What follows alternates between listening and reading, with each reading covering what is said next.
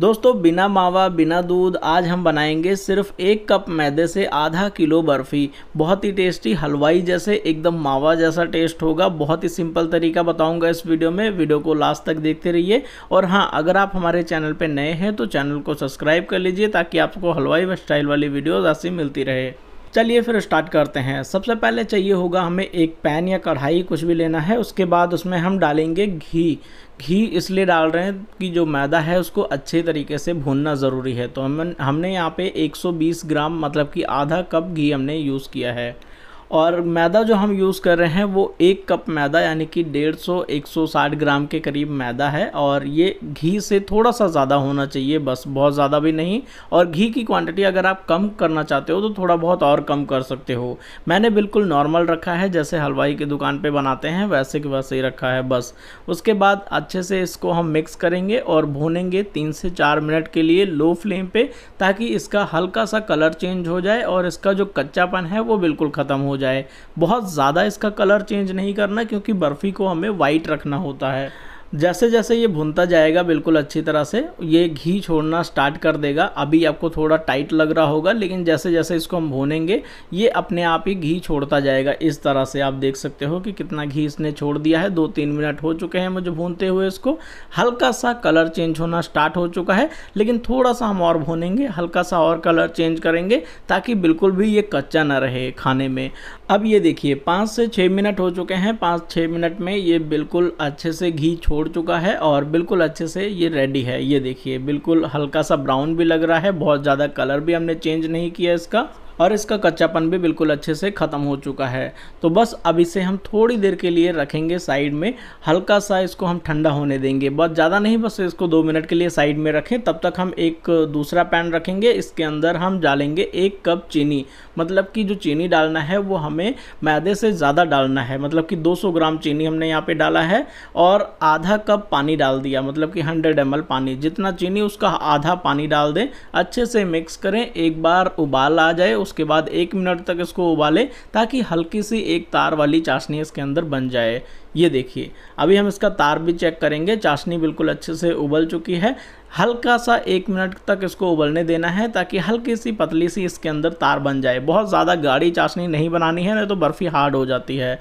हल्की सी पतली सी तार बन रही है तो इसका मतलब ये बिल्कुल रेडी है चाशनी। अब हम गैस को स्लो करेंगे और इसको साइड में रखेंगे दो मिनट के लिए। और ये जो मैदा हमने थोड़ा सा ठंडा किया है, हल्का सा दो मिनट दो तीन मिनट में ये ठंडा हो ही गया होगा, इसमें हम डालेंगे थोड़ा सा मिल्क पाउडर मतलब कि तीन से चार टेबल स्पून के जितना हम मिल्क पाउडर डालेंगे। इससे क्या होगा कि ये बर्फ़ी जो है वो खाने में मावा जैसा लगेगा, ऐसा मैदे जैसा नहीं लगेगा खाने में।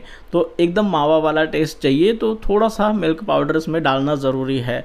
हलवाई थोड़ा ज़्यादा ही डालते हैं, क्योंकि उनको सेल करना होता है। हमने यहाँ पे घर पे खाने के लिए बनाया है तो आप कम ज़्यादा करके मिल्क पाउडर डाल सकते हो। और अच्छा थोड़ा और अच्छा टेस्ट बढ़ाना चाहते हो तो इसमें आप कोकोनट पाउडर वगैरह भी मिक्स कर सकते हो। या फिर कोई ड्राई फ्रूट का पाउडर वगैरह भी पीस के इसके अंदर डाल सकते हो। आप चाशनी को हमें डाल देना है। मिल्क पाउडर हमने पहले इसलिए मिक्स किया ताकि जब चाशनी डालें तो उसकी गुठलियाँ ना बन जाएँ। तो इसीलिए पहले आपने मिक्स कर लेना है मैदे में उसके बाद हम इसमें चाशनी डालेंगे। तो इसमें कोई गुठलियाँ या लम्स वगैरह नहीं बनेगा। गैस को बिल्कुल लो फ्लेम पे रखना है। एक दो मिनट के लिए इसको पकाना है। दो तीन मिनट दो मिनट कम से कम इसको पकाना है ताकि ये बिल्कुल अच्छे से बर्फ़ी सेट होने के लिए रेडी हो जाए। दो मिनट में ही ये इस तरह से पैन को छोड़ने लग जाएगा। हल्का सा घी छोड़ देगा तो इसका मतलब है कि ये बिल्कुल रेडी है।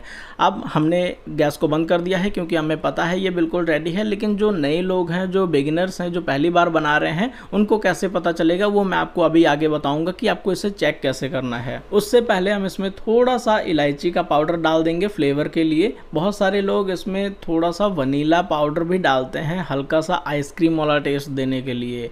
बहुत सारे लोग डालते हैं, आप भी डाल सकते हो। अब हमें इसे थोड़ी देर के लिए कहीं भी पंखे के नीचे या कहीं भी ठंडी जगह पे रख देना है ताकि ये जल्दी ठंडा हो जाए। तब तक हम एक ट्रे इस तरह का लेंगे। कोई भी बर्फ़ी वाली ट्रे या कोई थाली वगैरह यूज़ कर सकते हो इसको बर्फ़ी को सेट करने के लिए या किसी प्लेटफॉर्म का भी यूज़ कर सकते हो।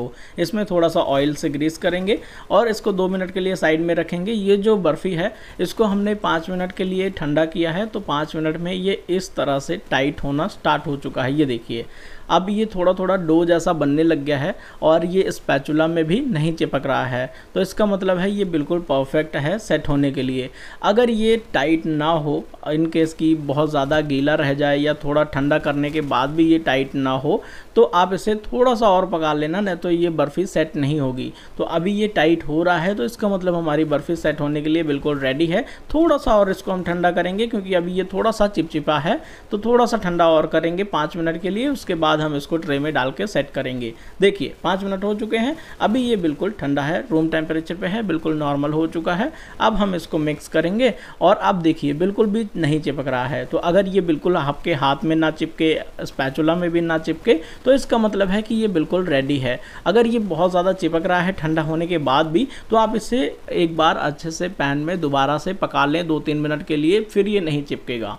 उसके बाद हम इसको ट्रे में डालेंगे, अच्छे से इसको हम फैला देंगे बिल्कुल। अच्छी तरह से, और जो भी थिकनेस वगैरह रखना चाहे, जो भी साइज़ रखना चाहें, वैसे आप इसको रख सकते हो, और बाद में इसको हम कट करेंगे दो तीन घंटे के बाद। आप इसे ओवरनाइट भी रख सकते हो। दो घंटे मैंने यहाँ पे रखा था एक घंटा मैंने फ्रिज में रख दिया था तो जल्दी सेट हो गया। अदरवाइज़ इसे आप चार से पाँच घंटे रखेंगे तो ये अच्छे से सेट हो जाएगा। अब ये बर्फ़ी सेट है बिल्कुल अच्छे से तो इसको हम कट कर लेते हैं। बर्फ़ी बिल्कुल सॉफ्ट है, बिल्कुल परफेक्ट है, जैसे हलवाई की दुकान पर हम लोग बनाते हैं, बिल्कुल वैसे ही है। आप इसे सेल करने के लिए अगर आपके पास कोई दुकान है तो आप सेल करने के लिए भी इसको बना सकते हो। हम इसको किसी भी शेप में, किसी भी साइज़ में, किसी भी तरह से इसके पीसेस जो है वो कट कर लेंगे। बहुत ईजी है, बिल्कुल सिंपल तरीके से इसकी कटिंग हो जाती है। आप देख सकते हो कि बिल्कुल क्लीन पीसेस हैं जो इसके निकल रहे हैं। ये देखिए। इसको हम अच्छी तरह से पहले कट कर लेंगे। उसके बाद इसको हम निकालने का तरीका है, वो बस आप इसके नीचे की तरफ़ चाकू इस तरह से मारना है और ये इस तरह से निकल के आ जाएगा। ये देखिए कितने परफेक्ट पीसेस बन के रेडी है। अब इसी तरह से सारी बर्फ़ी जितने भी है, आप और भी बना सकते हो। बहुत सारे अलग अलग तरह से बर्फ़ी बनती है और इसमें अलग अलग फ्लेवर भी दे सकते हो। कोई फ्लेवर या कोई कलर डाल के इसको अलग फ्लेवर दे सकते थे आप। तो जैसा भी आपको अच्छा लगे, वो आप बना सकते हो। अगर मैं आपको इसे तोड़ के दिखाऊँ तो आप देख सकते हो कि देखने में बिल्कुल मावा बर्फ़ी जैसा लग रहा है। खाने में टेस्ट भी बिल्कुल मावा जैसा ही है। जो दुकानों पे आप देखते हो, सस्ती वाली बर्फ़ी, वो ये वाली बर्फ़ी होती है। बस इसमें थोड़ा सा मावा या फिर मिल्क पाउडर ज़्यादा डाला होता है तो वो फिर पता नहीं लगता कि इसमें मैदा भी डाला हुआ है। एक्चुअल में ये मैदे की बर्फ़ी होती है। तो बाकी अगर आप इसे सेल करने के लिए बना रहे हो तो आप इसे थोड़ा सा मावा वगैरह इसमें और ऐड करके, आप अच्छी तरह से इसको सेल भी कर सकते हो। अगर आप डेढ़ से दो सौ रुपये किलो भी सेल करोगे, तब भी इसमें आपका फ़ायदा ही है। तो ये बर्फ़ी हमारी बन के रेडी है। कैसी लगी दोस्तों? इसको थोड़ा सा ड्राई फ्रूट से इसको हम सजाएँगे और उसके बाद ये बिल्कुल रेडी है। ये वीडियो कैसी लगी दोस्तों? कमेंट करके ज़रूर बताइए। ऐसी अगर आप और भी वीडियोज़ देखना चाहते हैं तो आप हमारे इस हलवाई वाले चैनल को सब्सक्राइब करें और फेसबुक और इंस्टाग्राम पर भी फॉलो करें। थैंक यू तो दोस्तों, हमारी ये वीडियो आपको कैसी लगी कमेंट करके ज़रूर बताइए। अगर आपने हमारे वीडियोज़ को अभी लाइक नहीं किया है तो वीडियो को लाइक करके चैनल को सब्सक्राइब करके बगल में घंटी वाले बटन को भी ज़रूर दबा लें ताकि आप सभी को हमारी आने वाली वीडियोस की नोटिफिकेशन मिलती रहे। थैंक यू सो मच मिलते हैं नेक्स्ट वीडियो में।